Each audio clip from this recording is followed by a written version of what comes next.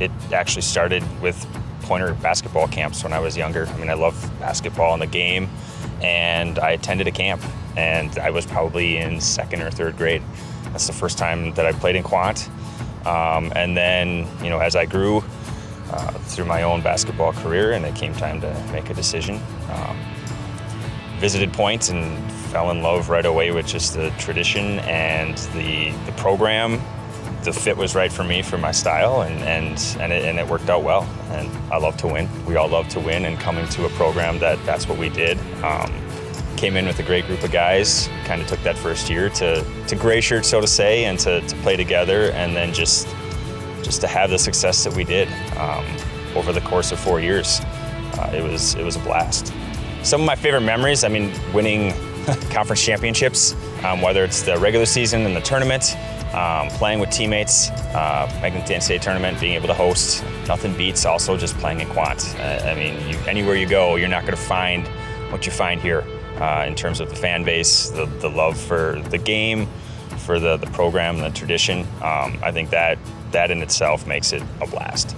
So being inducted in the UWSP Hall of Fame, um, it's awesome. I, I can remember walking, you know, down by the MAC and through there, and you see all the plaques and stuff up there, and you don't really ever think like, hey, that might be me. So I think that just knowing that is really cool um, to be able to kind of leave your mark and um, just look back and share with my kids and family um, and, and, just something to, to remember.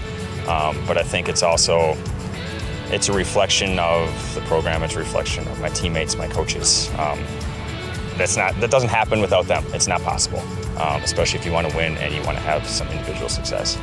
Coming here and just proving to myself and proving like, hey, if you love the game and can play the game, find it. Um, it brought that out of me. Uh, the system was perfect and it really, you know, fit my skill set. And um, and then it just the hard work, the the camaraderie, the team, the respect the game, um, respect the coaches, and then good things will follow. After UWSP, well, I, I got married soon thereafter and just found a job, got to work, did some coaching. I coached a little at the high school level and then middle school. And then as my kids got older, I'm now coaching them. It's a blast, but you don't realize once you're a parent and you're kind of a part of that journey how cool that really is. And just kind of give some of that knowledge, push them a little bit. They like it, they hate it, but it's all fun. Thank yous and final thoughts. Um, it starts with family. So obviously my parents, my brother and my sister, like we all know that when you're part of athletics, it's a, it's a commitment, right? It's travel, it's commitment to that. It's it's pushing you, it's it's being there for you. So obviously my parents, my coaches, so I can thank Coach Voigt, Coach Bennett, Coach Semling. Um, my grandparents, I was fortunate that my grandparents had lived in Iowa. They made, I would say, probably about 80% of my games, and that includes home and away. They even drove to Superior. which is, is not a fun drive in January. So my grandparents, um, and then just the whole Stevens Point fan base. As I've, as I've said, like playing in Quandt was something special. You walk in there and that place is packed and rocking. Um, it, it, was cool. So you just, you respect the program, respect the tradition, and um, loved it all.